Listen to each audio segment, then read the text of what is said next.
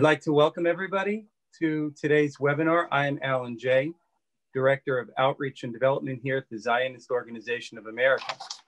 On behalf of ZOA and our partner organizations, the Yesha Council, My Israel, and the Shiloh Policy Forum, I would like to welcome you first to this first installment of our three-part mega event in support of Judea and Samaria to be aired on three consecutive Sundays.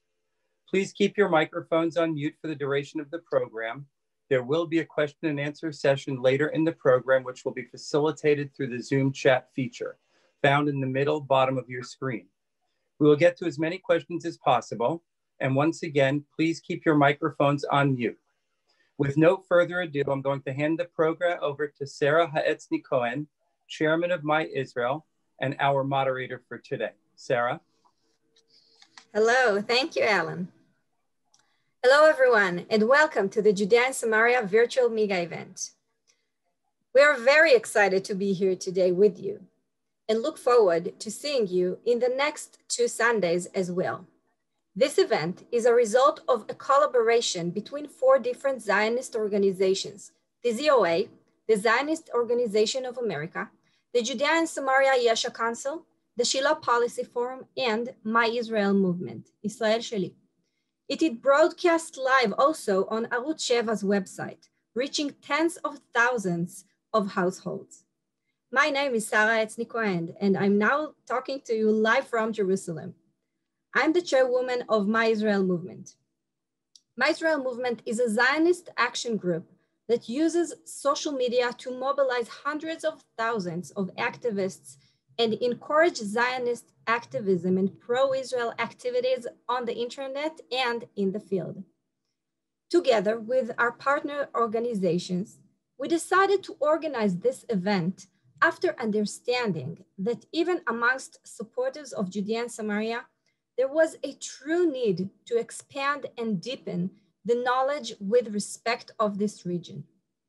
Indeed, in the complex period we're all in, in the middle of an international pandemic, we want to take a few days and put all of these pressing issues on the side and take a deeper and longer lasting look at the region. For decades, the hostile media and international organizations painted a distorted picture which does not reflect what is really happening on the ground. Our goal in this, in this few days in this very exciting event is to bring the real Judea and Samaria into your salon. We want you to understand the reality. We want you to understand the truth on the ground. We have only one request. Take all the information you will gather today and in the next meetings and spread it. Do not keep it only to yourself. Become, become ambassadors for Judea and Samaria and for Israel. We have thousands of viewers right now in our various platforms, including Zoom, Facebook, YouTube, and Arutz Sheva. We urge each and every one of you, take the information you will get and use it to defend Judea and Samaria. We need you. Of course, you can always get more information on the websites of the different organizations. Go to these websites, get even more knowledge, and use your knowledge to fight the lies that told against us. This is the only way we will defeat the ignorance that threatens us. The Middle East is a tough neighborhood, and Israel is the only democracy in the region. In recent years, there has been significant progress in the geopolitical field, and we can see serious achievements that push Israel, the region, and the entire world forward. All this would not have happened without, without our great friend, the United States, and without you, our friends, our family from all around the world. But these achievements are not enough. We want to keep moving forward. Of course, we cannot ignore regional and local trends. We need to take into account the ongoing challenges coming from reality on the ground in Judea and Samaria and of course in border Israel. In the next three Sundays, we will hear from top of the line experts and, and pr practitioners uh, and gain deeper understanding of the area. We will do this from a perspective that recognizes our historical roots, our legal rights, and the fact that this land is the land of the Jewish people. Today, on the first of the three Sundays, we will deal with the economic situation on the ground and various aspects of what is called economic peace. We will focus on building bridges through cooperation rather than being rather than walls of separation. Next Sunday, February 14th, you will invite you, uh, we will invite you to start your Valentine's Day with a special program on the legal basis of for our rights. 18 months ago, then Secretary of State Pompeo recognized our rights to the region. And on this day, we hope to discuss the, the ramifications, both of those rights and the, of the US recognition of those rights. Finally, in the last session on February 21st, we will discuss the effects of the historical Abraham Accords on the region as they resulted in a paradigm shift that showed that peace can, sorry, that, kiss, that peace can be achieved without hurting Israel's right to its eternal homeland and her security. We are very excited and invite you to be a part of our all events. I would like to open today's with meeting with a special greeting to all of you attending the Judea and Samaria, eh, the Judea and Samaria mega event by President of the State of Israel, Mr. Reuven Rivlin.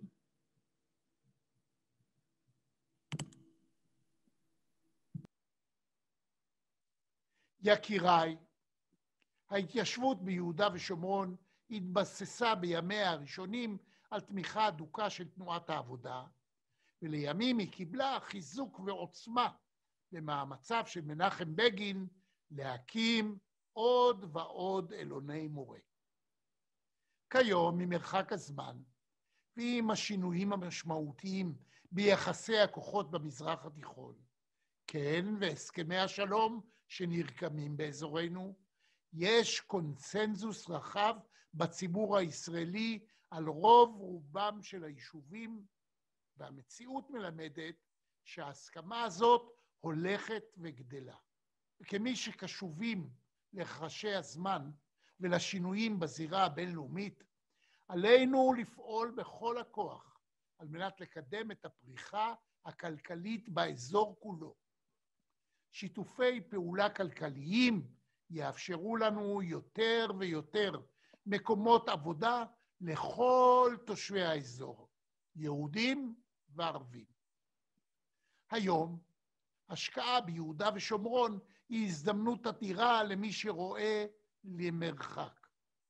המציאות הפוליטית תביא, כך אני מקווה, לפיתוחה של כלכלה באזורי תעשייה משותפים, כלכלה שתהיה לטובת התושבים כולם. פיתוח התעשייה יכול להיות הן בסיוע התעשייה המסורתית והן בקידום יוזמות הייטק, פיתוח סביבתי ועוד. רק מתוך חיים יחד ובגובה העיניים ייבנה אמון בין אנשים.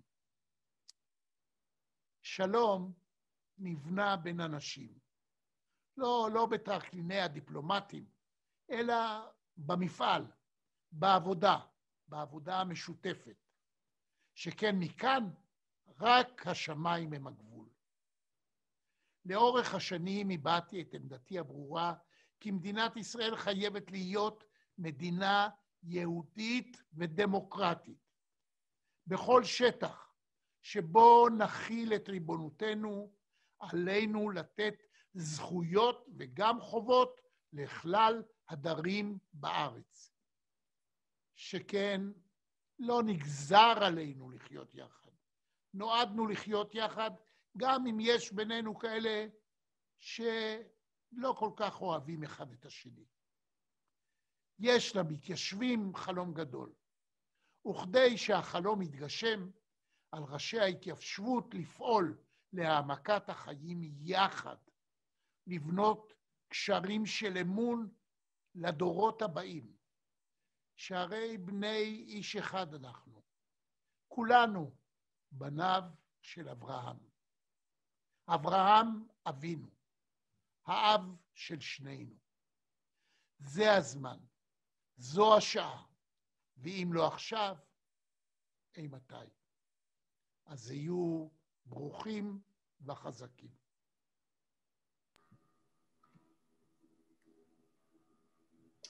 Thank you, President Rivlin.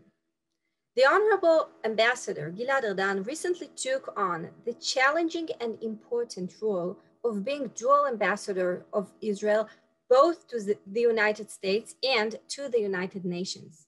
Ambassador Erdan also sent us a greeting for this special occasion.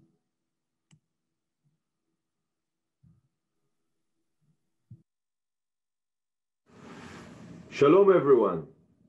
We have a moral, legal, and historic right to the land of Israel, including, of course, Judea and Samaria. One of the main reasons I took on the dual role of Israel's ambassador to the United States and the United Nations is so I can proudly share that truth with the world. From the days of the Tanakh, Judea and Samaria have been the heart of the Jewish people's connection to their homeland. Today, the situation is no different. Friends, the economic cooperation between Jews and Arabs in Judea and Samaria is a model of true coexistence that benefits all involved. This became very clear to me as I battled the anti Semitic lies of BDS as Minister of Strategic Affairs. Businesses in Gush Etzion, Barkan, and many other places provide dignified jobs, better wages, and space for Jews and Arabs to build relationships that increase the chances of reconciliation and peace.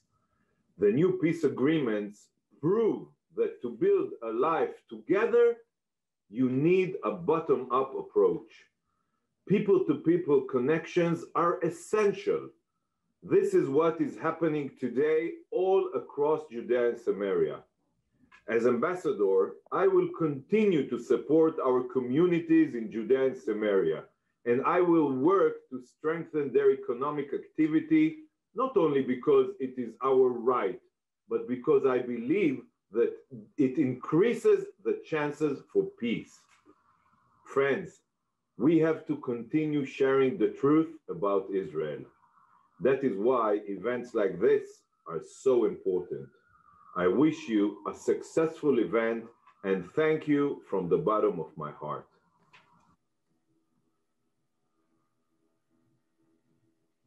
Thank you so much, Ambassador Erdan. Mr. Morton Klein is the president of the ZO, the Zionist Organization of America. It is difficult to describe in words the contribution of the organization, the ZO. And of course, of Mort himself to the prosperity and security of the State of Israel. Over the years, the State of Israel has always known that it has a warm and loving organization overseas. The, the, sorry, the, the thousands of members of the ZOA get up in the morning thinking of Israel and go to sleep thinking of Israel. We feel your support and we are stronger thanks to it. I would like to invite you to hear a few words from Mr. Morton Klein, the president of the ZOA, Zionist Organization of America.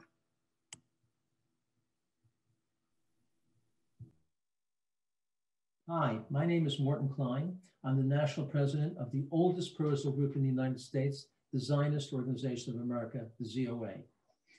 I'm pleased and honored to be with all of you today, with President Rivlin, with Ambassador Gilad Erdan, all of today's speakers, and so many friends at this Judean Samaria mega event. The ZOA stands with our Jewish brothers and sisters in Judea and Samaria. These lands are guaranteed to the Jewish people by God, by binding international law, by history, and by the blood of the courageous Jewish boys who recaptured and liberated the Jewish people's lands in 1967. A little over a century ago, the ZOA was at the 1919 Paris Peace Conference, helping to present the proposals that led to the international recognition of the Jewish people's rights to this very land. Throughout the years, ZOA has been educating American public, the Congress, that Judea and Samaria are not occupied Palestinian territories. They are the Jewish people's lawful historic lands. At ZOA student and adult Israel trips, we bring them to Efrat and Ariel and Hebron and Beit El. You and the Israeli government must insist that birthright and the federations and Israel bonds and AIPAC and synagogue trips must visit these extraordinary and ancient Jewish towns. ZOA has also been fighting for Judea and Samaria at the World Zionist Congress. We successfully passed resolutions to stop BDS targeting Judea and Samaria. With Yesha's help, the ZOA coalition and our friends in the rational centrist and religious camp won a stunning victory there. We are now positioned to promote investments by Israel's national institutions in Judea and Samaria, among other key issues. Last year, the ZOA placed huge banners in Jerusalem promoting ZOA's Sovereignty Now campaign.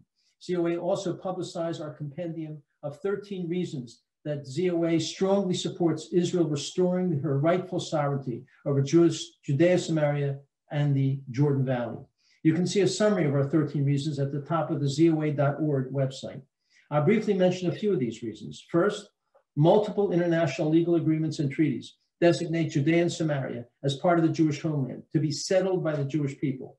ZOA often reminds American officials that the United States president signed and the US Senate ratified one of these treaties, the Anglo-American Convention of 1924, confirming the Jewish people's rights to this land. Second, the UN Charter guaranteed the Jewish people's rights to these lands even after the expiration of the mandate. Third, restoring sovereignty also assures Israeli security and its defensible borders and gives Israel the ability to protect herself by herself. Without Judea and Samaria's breadth and elevated terrain, Israel's borders would be narrower than nine miles wide, impossible to defend. If a Palestinian Arab state is created there, Iranian proxy terror groups would surely launch constant rocket attacks on all of Israel, including Israel's major population centers and its airport.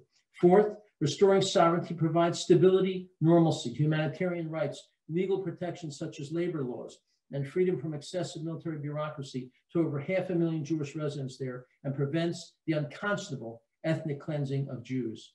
Fifth, restoring sovereignty keeps the Jewish historic and biblical heartland within the Jewish nation and assures access to Jewish holy sites and vital archaeological sites.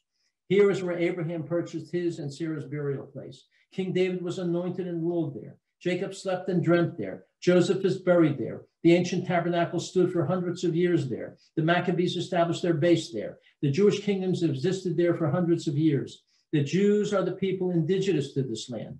We are called Jews because we are from Judea. The Arabs are not indigenous. Most hail from Arabia and North Africa. There was never a Palestinian Arab state here, never a Palestinian king or queen. Israel has already waited 54 years since Israel liberated Judea and Samaria. During that time, the Palestinian Authority rejected multiple extraordinarily generous offers, launched deadly intifadas, BDS and lawfare, demanded preconditions, and refused to negotiate even when their preconditions were met by Israel continues to name schools, streets, and sports teams after Arab Jew killers, and continues to pay terrorists to murder innocent Jewish people. It's clear more land is not what the Palestinians want. It's Israel's destruction. Israel must insist that these belligerent anti peace Palestinian actions end, or peace will remain impossible. Restoring Israel's lawful, internationally guaranteed sovereign rights is not a unilateral act, it is long overdue justice. On the other hand, when Israel fails to restore her sovereignty, when Israel fails to act on the fact that this is the Jewish people's land, that failure, that failure gives strength to the enemies who falsely claim that Israel's land belongs to the Arabs. Tens of thousands of Jews and more are making Aliyah now in the wake of enormous increase in worldwide anti-Semitism. As former Prime Minister Yitzhak Shamir once said to me, let's help these Jews establish their homes in the Jewish homeland of Judea and Samaria. I agree. We love you. We support you. God bless America. God bless Eretz Yisrael.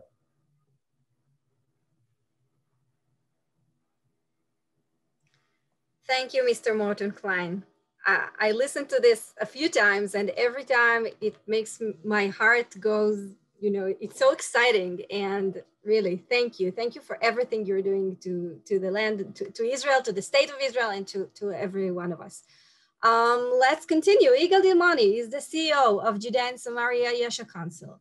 The Yesha Council is a body that unites all the authorities in Judea and Samaria. It is a body with a record of action and advocacy on behalf of Judea and Samaria and for Israel as a whole. Igal will give us today a short lecture explaining the situation in Judea and Samaria with emphasis on the economic processes happening now in, you know, these days in this historical land. I'm happy to call on Igal to share with us a, a perspective that I'm sure you have not heard in the mainstream media.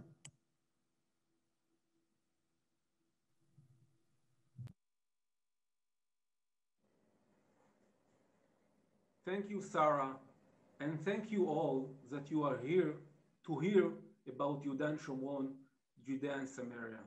And I want also say thank you to our partners, partners in the ZOA, in My Israel, in the Shiloh Policy Forum, all the people that help us to arrange this big virtual event of Judea and Samaria. Let's begin. In Judea and Samaria, we have 24 activity local authority, municipality, city, and regional council. The Yesha Council is the umbrella organization for, the, for this authority. We take care of their shared interest. We take care of this land, which is so important to the Jewish history, to the Jewish nation. Today, 476,000 Israeli live in this area in Judea and Samaria and the Jordan Valley. 53 years ago, no Israeli lived here at all. And today there are almost half million. It's a miracle. We're moving quickly towards the goals of having 1 million Israeli citizens here in the historical homeland of the Jewish nation. I want to speak about our three goals of Yesha Council. One is to apply the Israeli sovereignty over this area. Two is to bring 1 million Israeli to live here in Judea and Samaria and the Jordan Valley, what we call Chazon Million, the vision of 1 million. And three, to develop the area with road, transportation, water, electricity, and, eco and economic infrastructure. Today, I want to speak about the third goal. We believe that it's time to think differently, that it's time to think strategically about the future of this area. Today, we are busy together with other government ministries making master plan, plan for electricity, transportation, water, alternative energy, industry, tourism, economic, and environment. The connection of Judea and Samaria to the rest of the state of Israel is of great importance as part of the desire of, to bring normalization to the region. When I worry about the construction of a new road so that there won't be accident, it is not a road that will be just for me or other Jewish, but it but rather it will be for Arabs and all the people that live at this area as well when we add improvements in infrastructure of water and electricity in the same it's the same infrastructure that will be supplied to the Arab village that are located in the area next to the Israeli community. My worry and concern for the future of the area are for the entire region. There is a claim that the Israeli community are burden on Israel and make difficult for the Arab life. The people who say this are people who don't let the facts confuse them. We believe that we are here not the problem, we are the solution. Let's hear some facts about it. The Gaza Strip is under control of the Palestinian government, and there is no Israeli presence there. It's ruled by the Hamas, radical Islamic regime Israel take out, took out all of the Jewish community from there. We remember Gush Katif until today.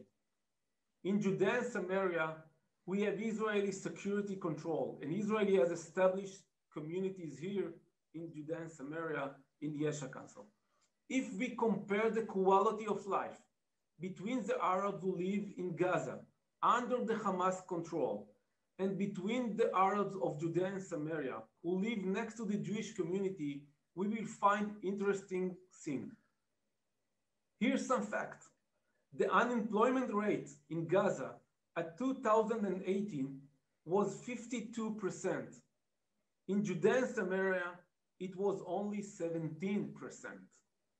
The more time passed since our presence in the region, the more the situation worsened in Gaza.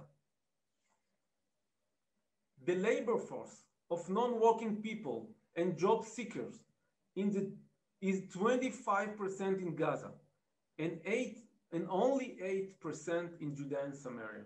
The GDP per capita in Gaza is, six, is about $1,600 per capita. If I compare it to $4,200 in Judea and Samaria, the total value of export in Gaza is $8.2 million. In Judea and Samaria, it's $1 billion. Most of this go to Israel. Jewish presence in the area also create job for the Palestinian people. The number of Palestinian residents working and earning a living in the entire state of Israel is about 140,000 workers. 20,000 of them work in the 20 industrial and agriculture area in the Israeli territory in Judea and Samaria. The average salary of those employment in Israeli company is more than double the average salary in the Palestinian Authority. Those every workers who work outside of the Palestinian Authority does not only support his nuclear family, but other family member in his big, big family, what we know as the Hamula. In other words, several families make a living from single salary. In fact, a quarter of the Palestinian population income come from working together with Israel. The current situation where because of international pressure, this region is not developed is the greatest burden on Arab in these regions. Instead of helping the Arab, people prefer hurting them if it's also hurt Israel presents here. This is what the BDS movement tried to do when they say don't buy products from the agriculture and the factories in Judea and Samaria. While those factories support the entire population and bring salary for Jewish and Arab together. I want to end with a point of view that might make a lot of people upset. But in other angle, angle this is a good news for the future. The reality is that the economic of Israeli and the people, the Arab people that live at this area are connected and it is very difficult to separate us and to separate our economy. We need their workforce. They depends on us for salaries and developments of our infrastructure. The good news is this share economic is precisely the main way today to peace and quiet in the region. It's in Judea and Samaria, here in Israel, here in the Middle East, and from Israel to the Gulf states, like we saw at the Abraham Accords. This is what we call the economic peace. And this is what we do here at Judea and Samaria. Thank you all for your listening and enjoy the rest of the event.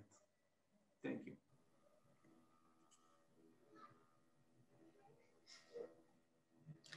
Thank you, Igal. All this information will be available on YouTube later on. You can always reach it.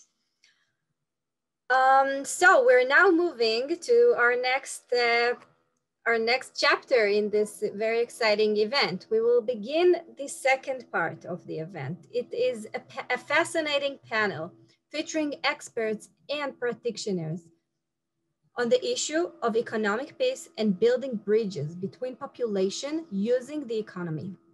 We would love for you to be an active part of this conversation as well. I invite you to ask questions and comments in the chat on the Zoom or in the comments on Facebook and YouTube. Since time is limited, we will not be able to get all the questions, but we promise to try and present selected questions to our panelists.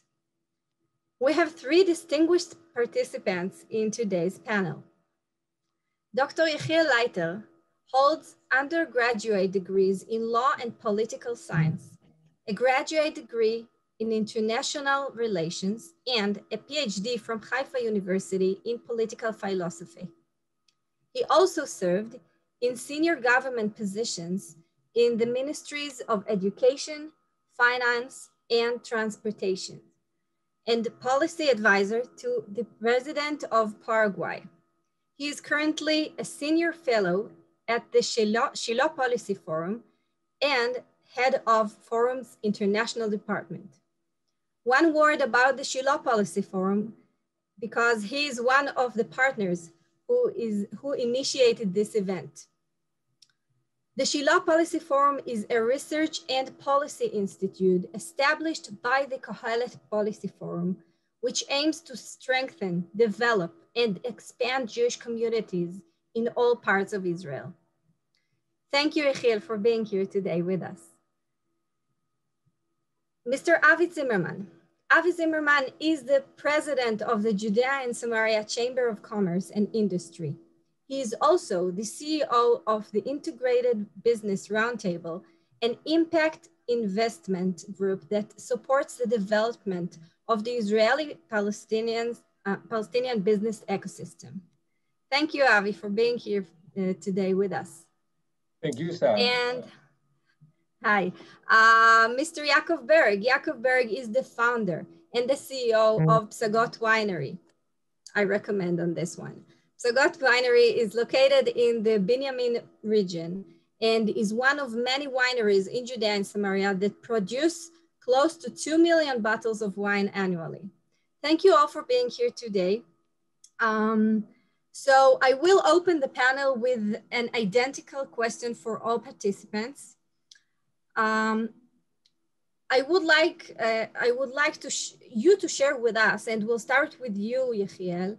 How do you define normalization, and what is this? You know, we use this phrase of economic peace, and I want you to I wanted to give your perspective of what is this economic peace we're all talking about? How does it affect the region and what's the, what's the uh, opportunities that it opens to us? So Yechiel, let's begin with you and then continue.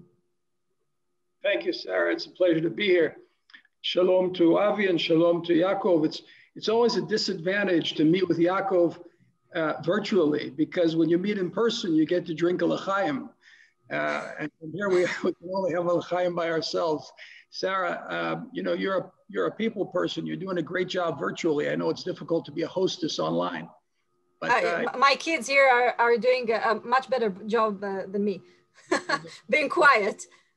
well, well, well, kol to them. Um, let, let, me, before I um, uh, begin, let me just um, extend a, a, big virtual hug to Mort Klein. Uh, we go back about um, I think 32, 31 or 32 years. I was speaking in a synagogue in Philadelphia representing uh, Yesha. At that time, I don't know, we were a few 10,000 uh, residents. Today, Baruch Hashem, we're close to half a million. And, uh, you know, a fellow got up from the audience and came up to the front and gave me a big hug. He said, I'm Mort Klein. And that was long before he, he became president of the ZOA. And since then, he's done a remarkable job relentlessly pursuing truth and justice for Israel.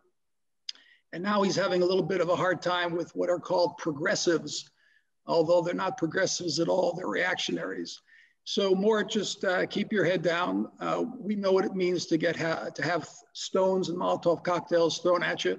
We've done that for a long time. So uh, we've been the recipients, I should say. So just keep going and you'll keep growing and doing a great job. And of course, to uh, my colleagues, Yigal Dilmoni, the CEO of, uh, of the Yesha Council, and my most esteemed colleague who really established and runs the Shiloh Policy Forum on a day-to-day basis, uh, Dr. Anat Roth. Um, re regarding uh, your question, um, Sarah, you know, normalization means doing it and not talking about it. Uh, and every day we're, we're, doing it. You know, I, um, I, I, was driving to Jerusalem today, you know, they lifted the, the lockdown. And here I am sitting in the same traffic jam with, um, with, with, with Arab neighbors from different villages and different towns. And, you know, we roll down the window and, and joke with, with each other. And I'm, I'm saying to myself, hey, where is, where is the BBC crew here? Where is CNN to come and see, you know, a career settler and a, and a neighbor of his from Ramallah sharing jokes at the, at the, uh, at the crossroads uh, and, and at the roadblock. But what I, what I think it's very, very important to, to emphasize, and, and this I'll, I'll turn it over to my esteemed colleagues. Um, it, it, is, it is very important that we understand First, that we don't repeat the mistakes of the past.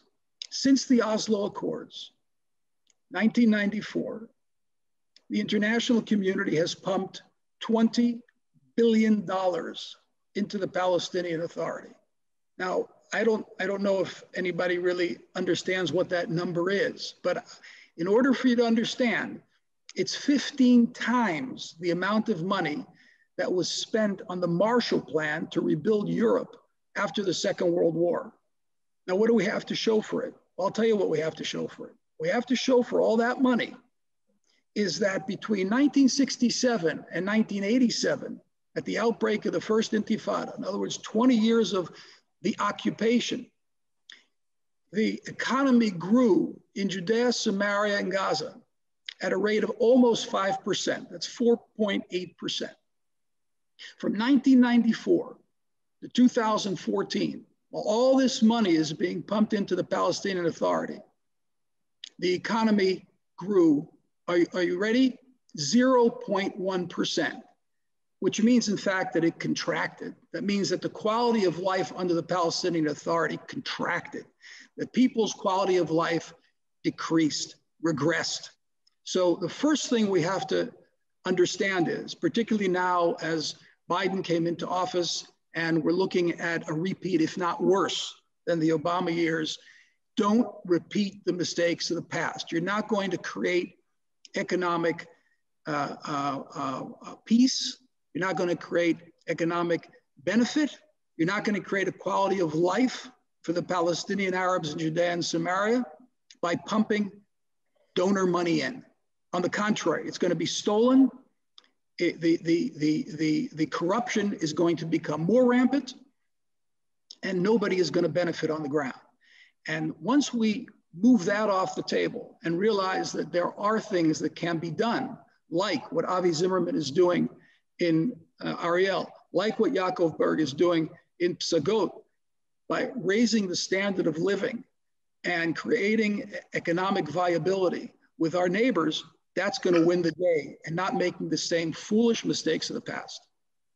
Thank you. Thank you very much, Yechiel. Um, Avi, give us you you know give us your perspective. You're doing so many things, and I, I would love to hear and you to share with with the public. Um, what do you how do you see this normalization, this economic piece? Thank you, Sarah, and thank you, Yechiel. Looking forward to hearing from Yaakov as well, and of course a pleasure and honor to be here on this call at this event with all these distinguished organizations. So thank you for hosting me. Um, there's a lot to say about uh, normalization and economic peace, but let me just start real quickly with terminology. I'm no, I'm no fan of the term economic peace, although that's frequently associated with the work that we do at the Judean Samaria Chamber of Commerce and Industry, and certainly at the Integrated Business Roundtable. Uh, I recall our recent events uh, over the last two years, we've hosted the Israeli Palestinian Economic Forum, I know there are a number of people uh, who are tuning in here who are uh, averse to the uh, P word, the Palestinian word, but it is the, the, the term that we use for that event uh, and when speaking with our uh, Arab associates in this region. And so at these events uh, regularly, we're told, uh, you know, people will take the, the stage, all sorts of dignitaries, uh, American dignitaries, Israeli dignitaries, other dignitaries, and they'll speak of the virtues of economic peace. And I quickly uh, take the podium and, and request that we speak not of economic peace only because the word peace has become so toxic for such an extended period of time because ultimately we all think of something else when we use the word peace. Uh, for the most part, the term peace has been associated with a two-state solution. And so uh, let's, in my humble opinion, I, I, actually like the term normalization, but it has its limitations. Uh, its advantages, and I understand that uh, not today's event will focus on this, but in two weeks you'll be focusing on the Abraham Accords. And there, indeed, this concept of a warm peace or uh, normalization is a term that's used. And really, just let's be normal. Uh, let's do business with one another like everybody else on planet Earth is doing uh, regularly on a daily basis. Yechiel just spoke to this now. President Rivlin said, said this earlier. Just do business, and everyone's going to benefit from it. Yigal spoke about, again, the virtues of uh, income, GDP. It's so obvious to us that's how we live our lives. Why can't we do the same thing in Judea and Samaria? I think the limitation of the term normalization is also because it sounds so normal. It's clearly not a given. Uh, this is an uphill battle because there are so many that are opposing the normalization between Israelis and Arabs. But once we can get to that point, it should not plateau. Uh, normalization seems normal. It seems run of the mill. It seems simple. Uh, so A, it's, it is uphill. It's not simple. But even at that point, there are more things that can be done. I personally recommend that we do, don't remain complacent with uh, what's already been accomplished and amazing things have been accomplished. The fact that Israelis are employing Arabs um, right, left, and center uh, on both sides of the Green Line. We're going to hear from Yaakov Berg in a minute, who himself employs Palestinians. Uh, this is uh, something that needs to be applauded and embraced and, and advanced. But we don't have to stop there. Indeed, President Rivlin spoke about the possibilities of innovation, of technology. Uh, I don't want to get too much into what we're doing, and I don't want to monopolize the conversation, but I will mention briefly that on March 8th of this year, we look forward to launching the Field Integrated Innovation Accelerator. It's a business accelerator for integrated businesses of Israelis and Palestinians. And that's just one example. Uh, we have, you can see here by the logos, the Integrated Business Roundtable, which is a group of impact investors, which you mentioned, Sarah, before, who are investing in these partnerships. International investors who see value in investing in these partnerships. And we've already made our first investments and are looking forward to more.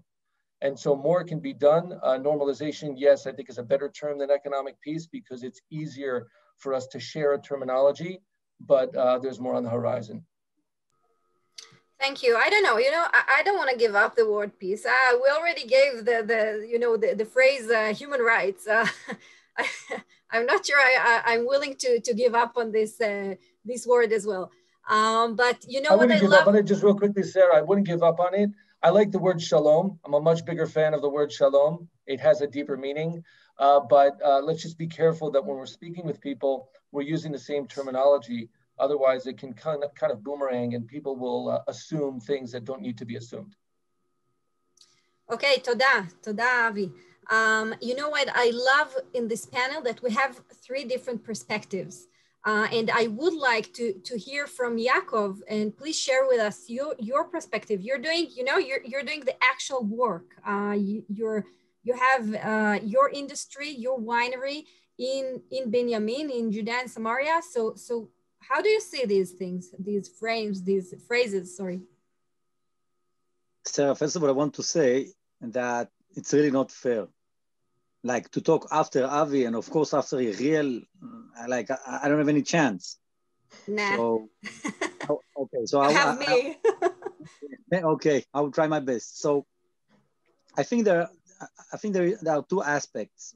First of all, the, the you know there is the personal aspect, and when I'm saying personal aspect, I mean that if I work with somebody, with my neighbor, my Palestinian neighbor, and I'm always I'm inviting him to my to my I don't know kids bar mitzvah or, or you know all, all, my events, and many times they invited me to come to their owns. I think this is the that's the beginning because I start to know them, they start to know me. You know, my kids know you know them, and so so. Uh, although it's not the you know all the population it's not everybody it's not but it's it's it's the beginning. And i think it's the beginning for both sides because you know always when you build walls you start to think that the other guy from behind the wall is something terrible something scary something. And so that personal aspect it's very important. And i see it you know day by day really day by day. If my Palestinian friend or worker or somebody I work with have a problem and he call me, and, and you know what? I'll give you, I'll give you, I'll give you a story. One day, my uh, uh, the guy that built me the winery, Abu Ibrahim, uh, he came to me. He says, "Yaakov, listen, my kid, uh, I need to marry my kid, and please, I, I need some money. Can you can, can you borrow me some?" He says, "No, Abu Ibrahim, no problem. How much do you need?" He said, "How much you need?" And I gave him. A day after, really a day after, my friend from from the army that I spent many times, you know, some years with him in the army and like like a Jew, he came to me and he says, call me, he says, Yaakov, and the same the, the, the same request, Yaakov, I need whatever. Can, can can can I get some money? I says, Chaim, no problem. Please sign sign a paper here. Say Yaakov gave you that amount, and whatever you have, you you give me back. And I gave him. So to my Palestinian friend that I, you know, I didn't spend so much to, with him in the army, and I gave with not without a paper. With my friend that I know him, you know, we. Why? Because I know because I know Abu Ibrahim, and I know Abu Ibrahim that if I will ask him to sign a paper, he's not going to talk to me anymore. And I know that Chaim has no problem because he know that that's it's okay, it's fair enough. In other words, with that personal connection, you start to know something that it's behind, you know, behind, behind scenes, behind the simple things. And I think that's the most important thing.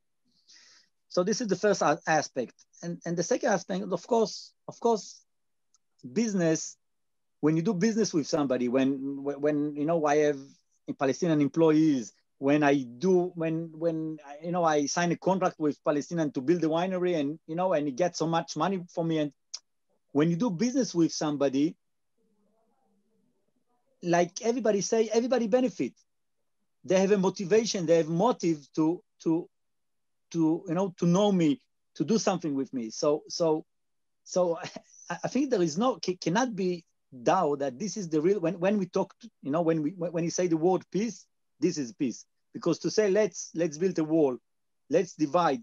I don't want to see you. And we, I mean, the end is going to be that I'm going to hit him. He go, he's going to hit me and that's it.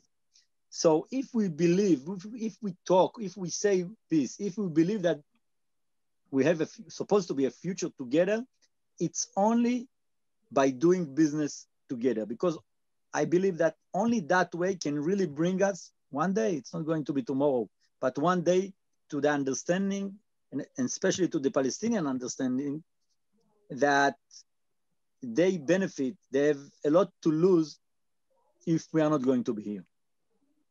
So Yaakov, let me continue with you, you know, because at the end of the day, uh, we, are going through, you know, this tension between Israelis and Palestinians and uh, paradise is, is, you know, is far away from here.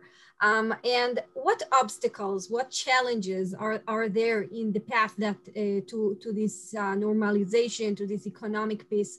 Could you share with us uh, from your experience, what challenges um, what challenges are, are on your way? Our way? Uh, yeah. Uh, first of all, I'm sorry to say, Sarah, I disagree. I think paradise almost here. Okay. You're welcome to come and take a look. Of course, you have a winery. okay. No, no, no, no, no, no, no, not just no. Seriously, seriously. You know, people that come aboard and you know they came with the same. They assume that it's going to look terrible. We are, you know, we're suffering. We are it's terrible. And I don't think that's the reality. I think the reality that we are almost almost in heaven. Uh, and I don't like to complain. We have only few, few little things to, to you know, to accomplish. But however, uh, uh, it, it, it's a, it, it's a, it's a, it's really, it's a great and difficult question. I, I, I think both sides. And you know what? I don't like to talk about the Palestinian side because I, I, know I cannot control on the Palestinian side. I, I like to, to, talk about our side. I think we also, we, the Jewish people, the Jewish government, I really think we can do more. We must to, let's call it, give a price, give uh, to, and to, to give them good reasons to do it. And I think we can do much more. I've, you know, we have a whole plan how to do it, but it must to be clear. And I think President Trump was the first one that put it on table saying, because, you know, because it came from business, he's saying, if you do that, you get. If you don't do it, tomorrow morning, you get less.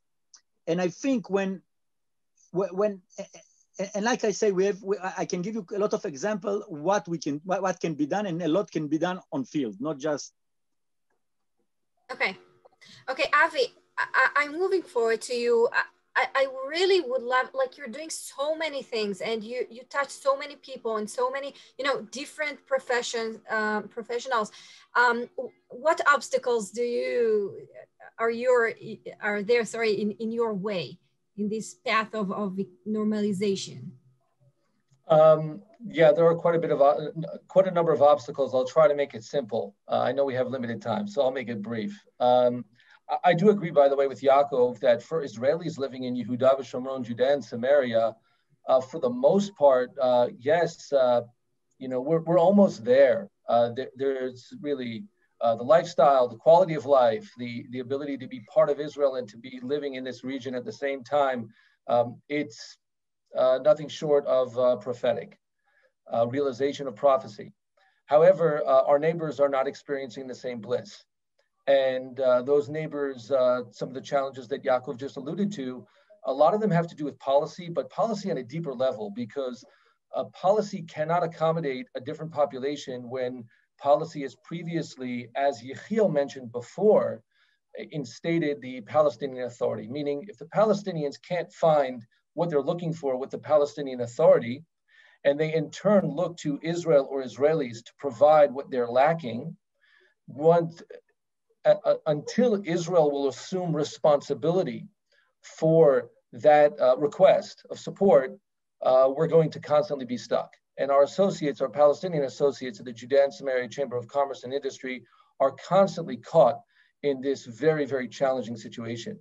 I'll give you the quick example of my co-founder of the chamber, Ashraf Jabari, of Hebron, who has bravely and boldly stood up for the uh, value proposition of working with all Israelis, including the so-called settler community.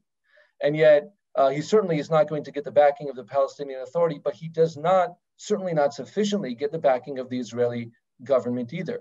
Now I understand he's not an Israeli taxpayer, but he is literally putting his life on the line to forge these partnerships between Israelis and Palestinians and he has very little to show for it from uh, an Israeli uh, support system. Uh, it is indeed the uh, civil administration which is responsible for the uh, coordination between the Israeli and, Pal- and Palestinian populations. And, um, you know, it's difficult. Uh, there, there's just politics and, and a system that's not equipped to deal with this. And I would say, kind of in the bottom line, when we established the Chamber of Commerce and when we established the Integrated Business Roundtable, we tried to take responsibility. We tried to look forward and say, what are the next decades going to bring? What is the pathway? What vehicles need to be developed to bring prosperity to this region for all populations? And in order to create that prosperity, we need those vehicles, but those vehicles have to be complemented by government. I'll give one quick example, by the way, which uh, just might be some light at the end of the tunnel. Uh, I've, I've heard some of the, the concerns about the, uh, maybe it's just because I'm, I'm confused between what's been said and what I'm seeing popping up here in the Q&A and in the chat. But uh, there are concerns about the Biden administration. What's that going to look like? And it's a really, you know, good question. At the same time, uh, I don't know how many people are aware, but there's a new piece of legislation that passed at the end of 2020 uh, called the Middle East Partnership Fund Act, which provides $50 million per year for partnerships between Israelis and Palestinians, partially through USAID and partially through the Development Finance Corporation.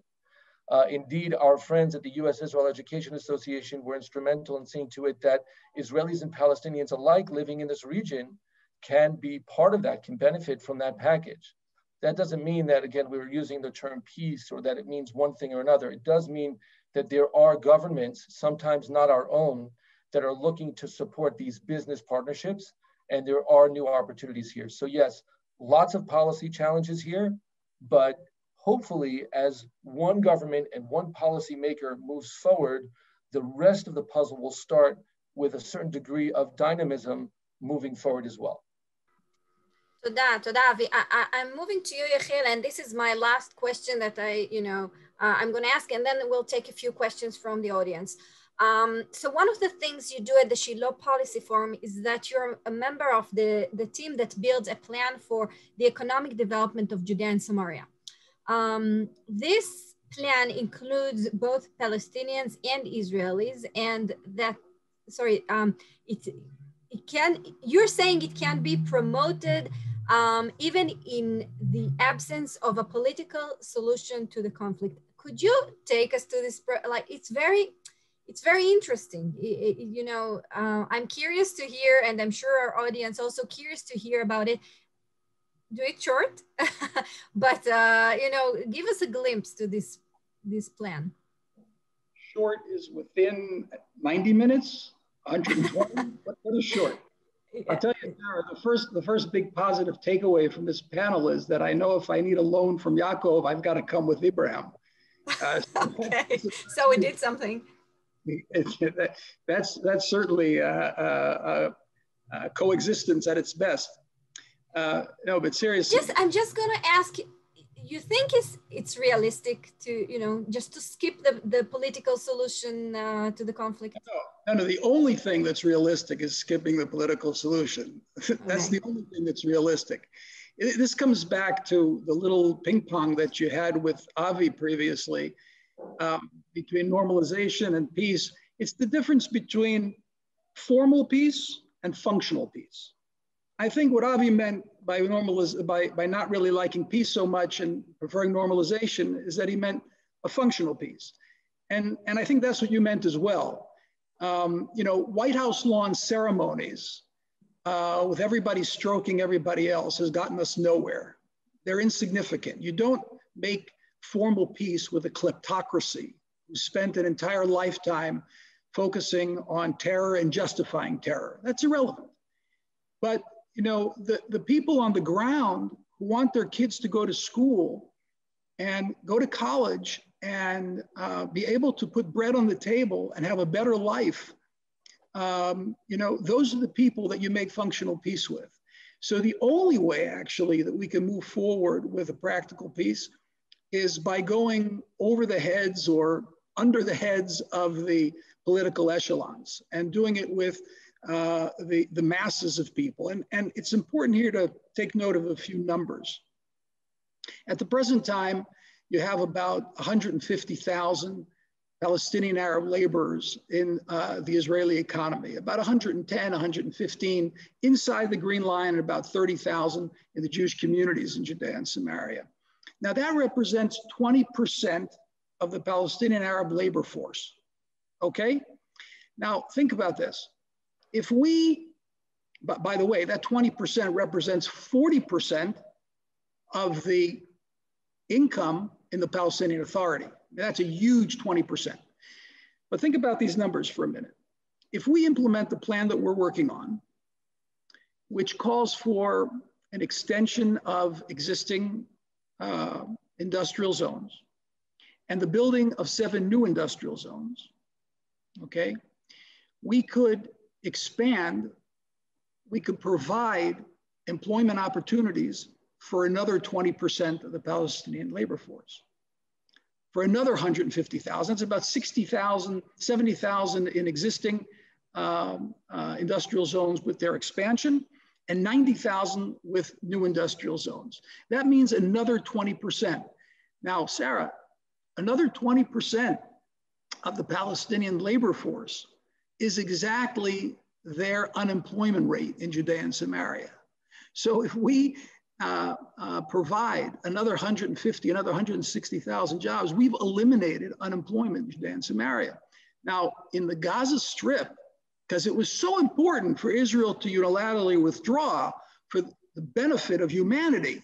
So we did so much good for humanity that now, in 20 years, the estimate is that the Gaza Strip will not be fit for human habitation. That's a Palestinian estimate, okay, of critics of the Hamas government, where 53% are unemployed, where youth unemployment is over 60%, and where there is no food security for about 50% of the population.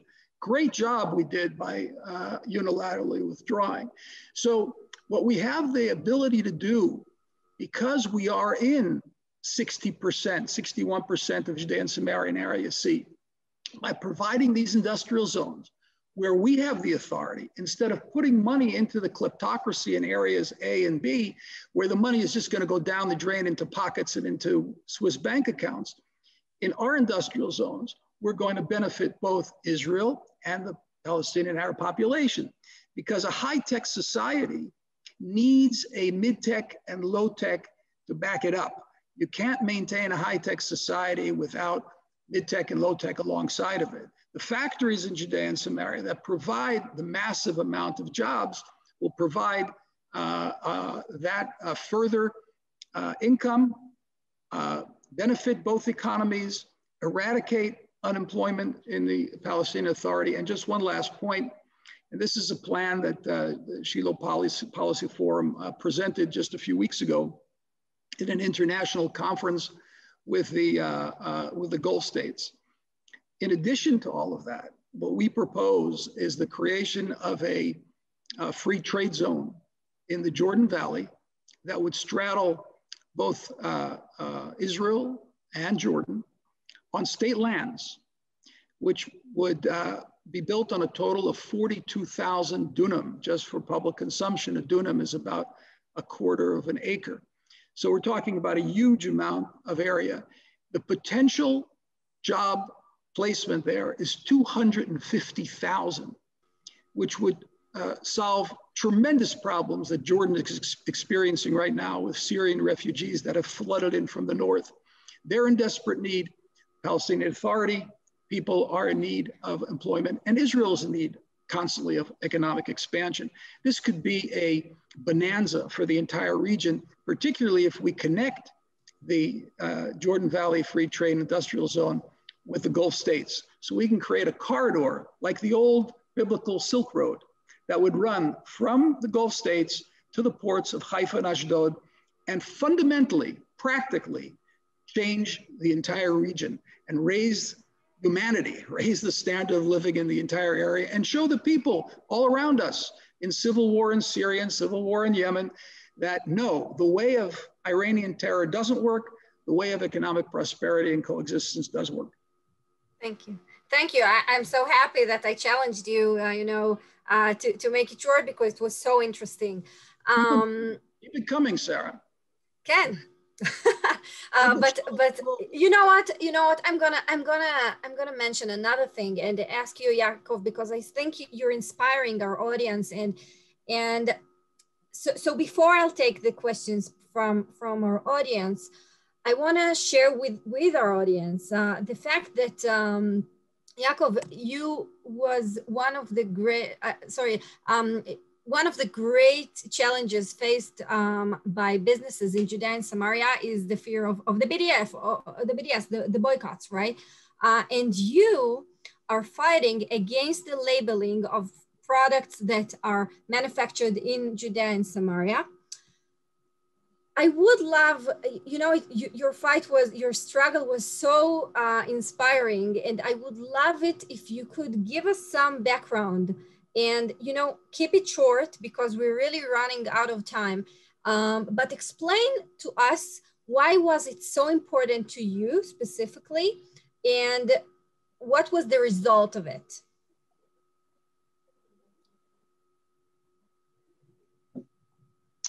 You know, I, I, I born in Russia. You know, no, nobody is uh, perfect. And I came to I came to Israel when I was uh, three years old. Voila. And I remember first time when uh, I was driving with my father and, uh, you know, somebody, some of our neighbors, the Palestinian neighbors, Arab neighbors throw stone on, on us. And I remember my father stopped the car and ran after the guy. And of course, he catch him and we take him and bring him to the police. And he says, listen, Yaakov, I came from Russia. I, I have a, and my father had a black belt in karate because his father told him that nobody is going to beat him because he's a Jew. But he, but he get a lot of, okay, it wasn't the, the reality. He says, when we are here in Israel, nobody, nobody is going to full stone on me and nobody, and I remember for years, every time, you know, we've been waiting for work, my father was running after them. There was no one time that we didn't catch the guy and take him and beat him back and bring him to the police. In other words, I don't believe, I don't think that the the the idea of saying, you know what, ah, it will over, uh, they will forget. It just uh, bad days, and the, that those bad days will. I, I don't think. I think the history taught us that we need to stand up and say no. And I mean, what is my sin?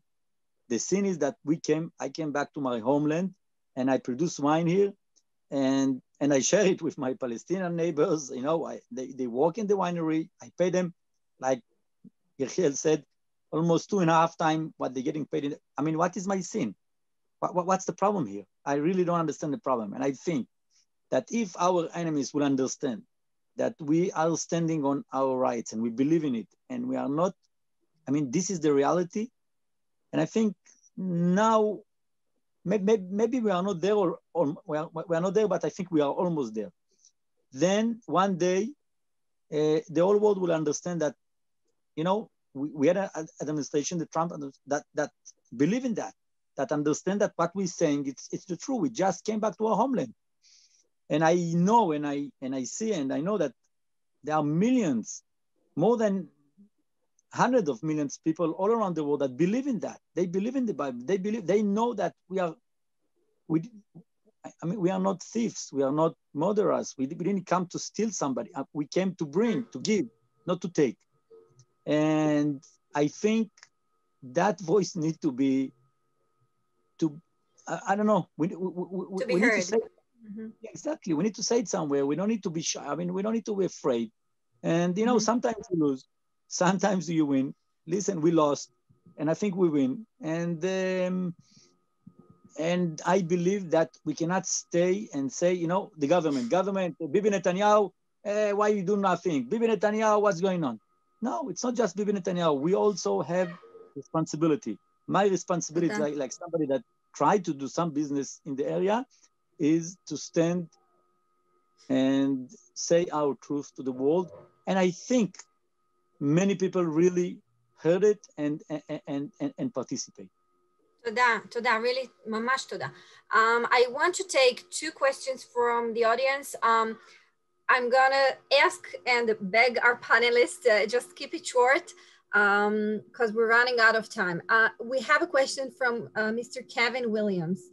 Uh, Dr. Leiter's point about the tremendous economic growth amongst the Arab sorry, the Arabs of Palestine in 1967 to 1987 is key. PA leadership, the Palestinian Authority leadership, uh, cheerfully threw it all away and seemed to have popular Arab support. Why, why, I think it's a great question. Why would economic growth and cooperation work, sorry, cooperation work this time? So what, what's, what's difference from, from the past? Yechiel, you want to try and, and uh, challenge and answer this? Well, uh, history is not stagnant. Um, you know, uh, a few things have happened since 1987. Uh, um, you know, we, we've tried, we've recognized the PLO, we brought their leadership here from Tunis and from Lebanon, and they turned it into a, a, a, a terror-based uh, kleptocracy. The people here also have gone through many difficulties. Um, you know, uh, it, during the first Intifada, uh, there were many Palestinian Arabs killed by their neighbors. Uh, the second Intifada, where we had to respond finally for the, the wanton murder of Jews, took a toll on the Palestinian Arabs. I mean, it, you know, they, they, they've had enough of this. And it's very interesting, but several times where the Palestinian Authority, for example, when Trump said he, President Trump was going to recognize uh, Jerusalem as the capital of Israel, um, the very same calls that uh, the, the Palestinian Authority issued when uh, uh, former Prime Minister Sharon made his dramatic walk on the Temple Mount, which apparently was the, uh, uh, the reason for the Second Intifada, which of course it wasn't, but um, uh, nobody answered the calls. The same calls were made um, at, the, at, the, at the time when President Trump said he was going to recognize the Golan Heights as Israeli sovereignty on the Golan Heights and nobody left their homes. You had a few scattered teenagers that were throwing stones in, in, in uh, some remote places, but there was no public uprising. And there's no public uprising because time has passed. And uh, they realize that their neighboring countries, I mean, look, the, the, the, the, the GDP per capita in Judea and Samaria is uh, larger than uh, it is in Egypt. All right. They look over the border and they see what's happening in Syria. They see what's happening in Lebanon. They see what's happening in Iraq. And you know, this occupation isn't all that bad. And it, the most important point is that it's no longer an occupation. And that's the biggest change that's taken place in response to Mr. Williams. There is no occupation.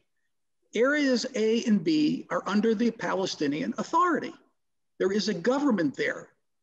Now, whether or not has all the trappings of, uh, uh, of sovereignty that the West would like to attribute to it is irrelevant. The fact of the matter is that we have no civil government today in Nablus or in Ramallah or in Hebron or in Beth Bethlehem, Qalqilia, and, uh, uh, and so on. So that's the big change. And they've been under a government of the Palestinian Authority since 1994. They see what it has wrought. They are not terribly happy with it. And I think that um, we can uh, create a de facto situation which will allow for uh, uh, uh the civil coexistence between uh, Israelis and Palestinian Arabs. Um, Sarah, if I can just add real briefly, 30 I seconds. I have a question for you, Avi.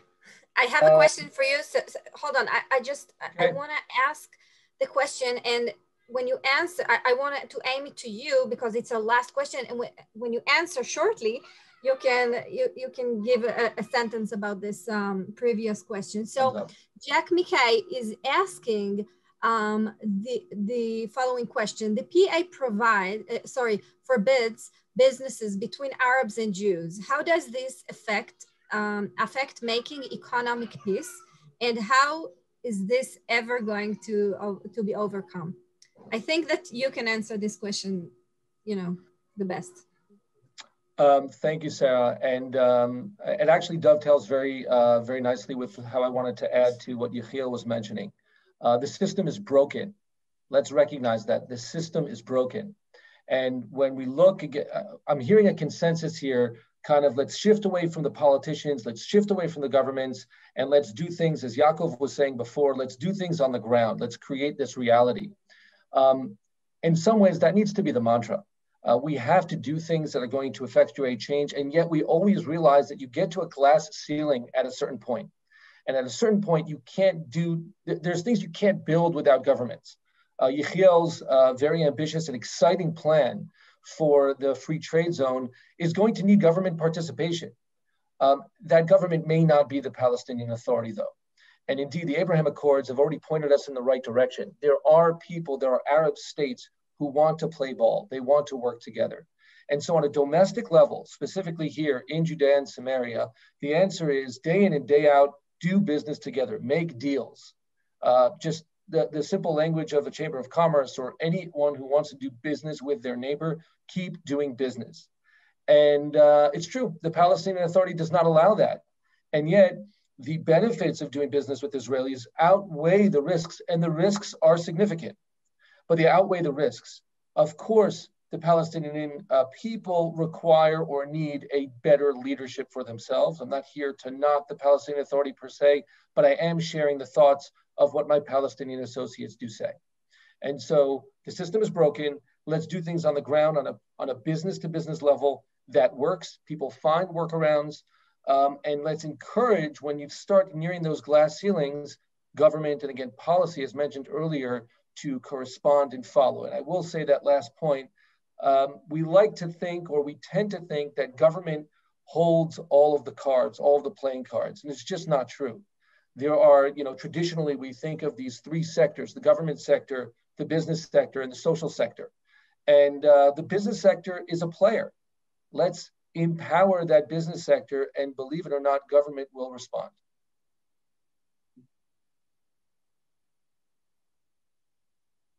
Toda. Uh, we're going to finish this, uh, this session, and I want to thank you personally.